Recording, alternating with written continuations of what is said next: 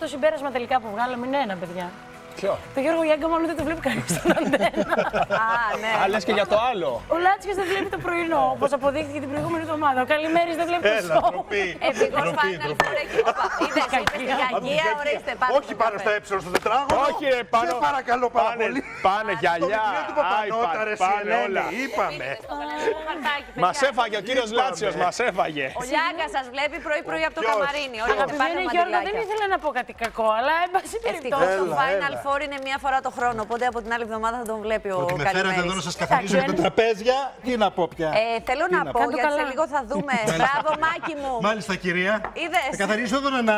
Ε, εδώ. Νανά. Εδώ θέλουμε κάτι άλλο. Λίγο τις, λίγο τις γονίτσες μπορείς να Εδώ, πάρεις. ναι, ναι, ναι. Μία Ό,τι θέλετε, σκουπίτσα. παιδιά. Ό,τι θέλετε. Τώρα και με ένα στεγνό. Έλα, Θέλω έλα, να τώρα. σας πω ότι σε λίγο θα έχουμε και το βίντεο με Πλωτά ό,τι έγινε έχουμε. χθες στο πρώτο live έγινε, του ρε The παιδιά; Voice.